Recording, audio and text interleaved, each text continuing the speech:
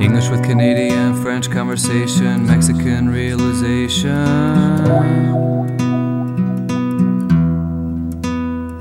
It was a peaceful, slow, hot day. I like it this way, I thought, as I'm winding back, thinking, sleeping until the man with the pack changes the tired to relax. Italian relation, tobacco and enhanced destination, not specific but got the map not with it. Ask a man, uh, please point us to the river.